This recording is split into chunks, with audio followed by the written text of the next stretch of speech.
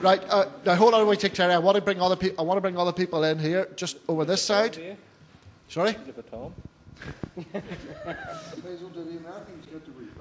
Uh, you, you absolutely. I'm keeping you as my secret weapon because they don't know who you are, but I do. I come from Omagh, and Omagh's not in the frack zone, but if you can speak to my neighbours where I've walked my dog and where our family grew up, Cavanagh, the gold mine, regulation, speak to those people. The other point is a very emotive point about jobs and the downturn and recession.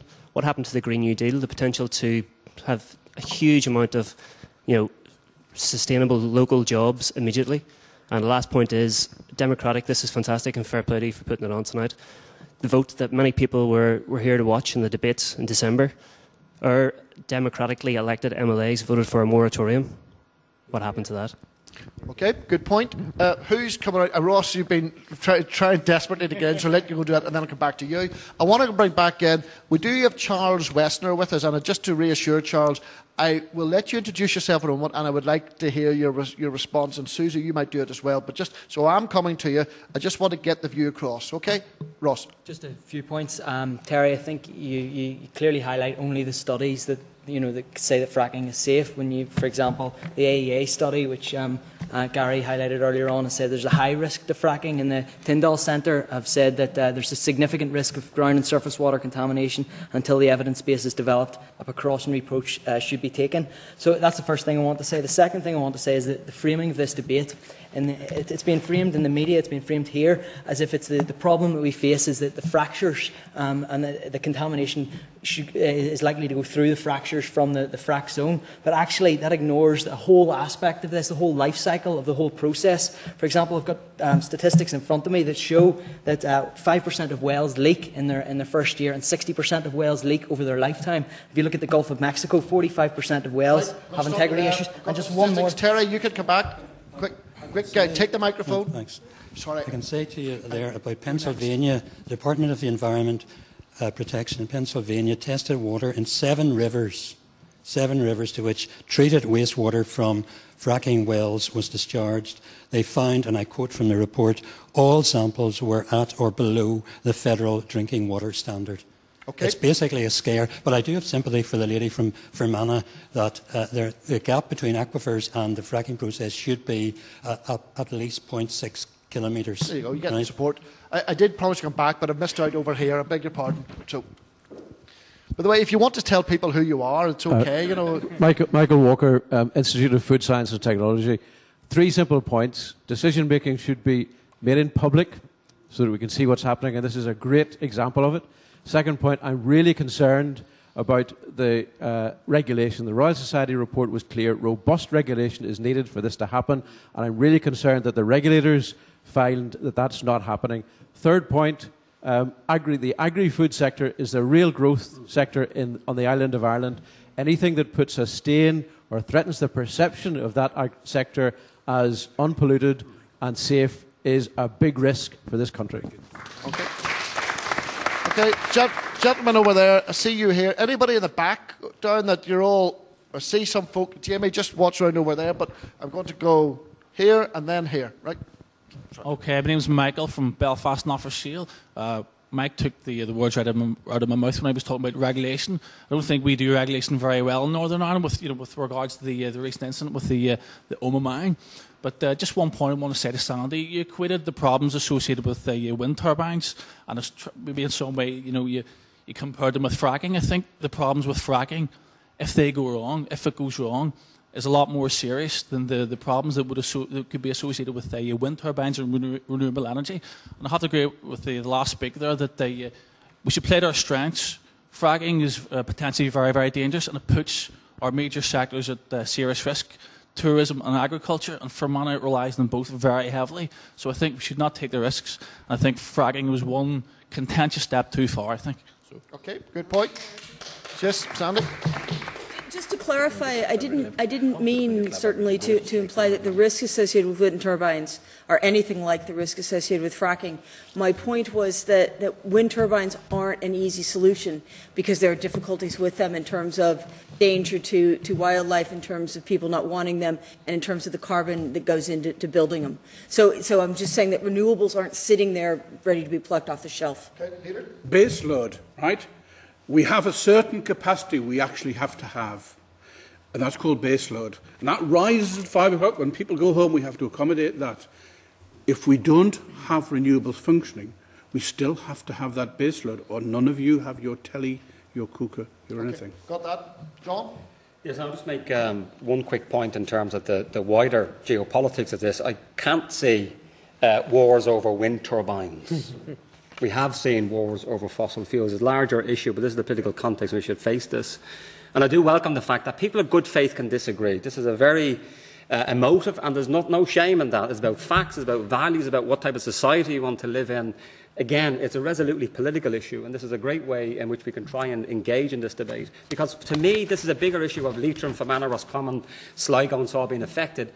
It, it, it, goes right to the heart of the integrity of the scientific process in, in politics. I agree with that point. Gentlemen over here, uh, microphone just behind you. Jamie? Oh, okay. There's some folk up there as well. Uh, right, go ahead. Sorry, I'm John Sheridan from. Yep, just speak up and we'll, we'll, we'll take our chances. I'm John Sheridan from Fermanagh. Uh, I'm a farmer. I, uh, you have, you have uh, lectured 40 years. I have lived and farmed 40 years in Fermanagh, uh, round the caves and the lakes. That's what it's uh, synonymous for. Uh, I work at Northern Ireland agricultural industry is worth 3.9 billion. In the ROI, it's worth over 16 billion euro.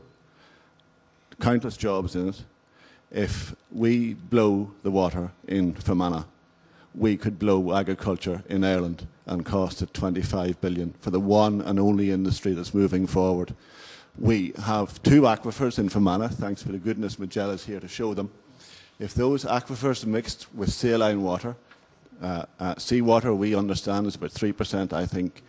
Uh, uh, if we hit the flowback, we're going to have around 25%. Uh, chemicals don't really matter. The saline is enough to ruin the water and the drinking water. Agriculture, uh, we, we are producing uh, dairy farms and, and, and dairy food in Ireland uh, is, is going to produce up against 80% of the milk powder in the world, and we cannot afford to take 600 Okay. jobs. I just I have to have to swing because I want to get a few people out. Hold on a sec. I will just make a point to everybody that everybody deserves applause in this bit.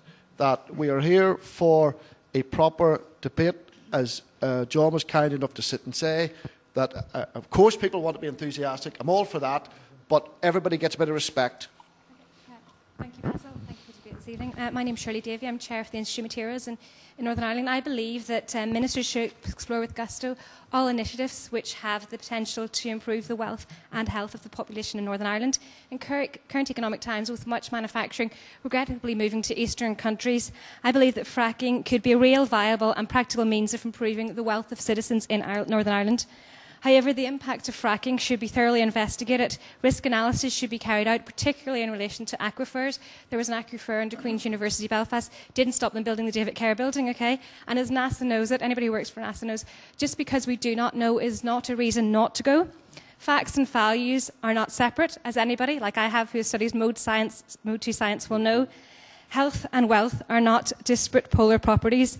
Increases in wealth can ultimately result in improvements in the quality of life for the local population.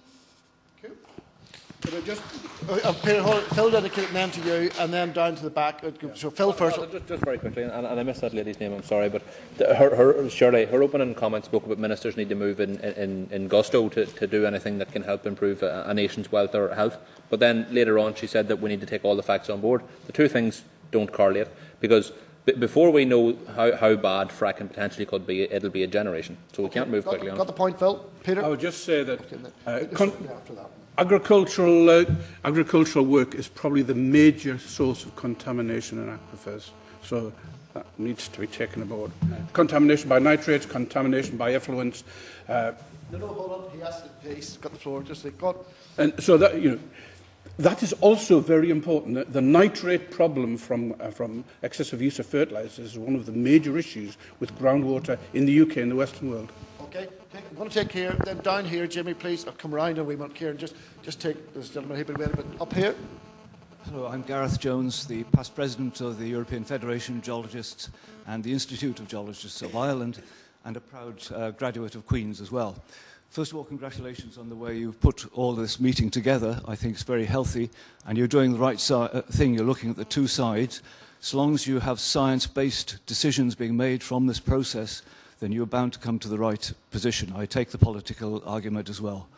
Um, it's probably worth just remembering that this is 50 years, almost to the day, the gas was first found in Ireland, just across the border in County Cavan, and 31 years since a, a well was first fracked for gas in Ireland. So we've done a lot of this work previously. Um, one of the things that the IGI is doing is taking a watching brief on this, and we see around the world a lot of governments being very hesitant, as they should be, doing initial reports, reviews of what's happening, and now these reviews are just beginning to come in. And they generally take the same sort of thing, saying there are problems, there are things which must be looked at very carefully, but if you get the regulation right, and especially with good practice, then you've got a chance of going ahead safely. Thank you. Thank you very much.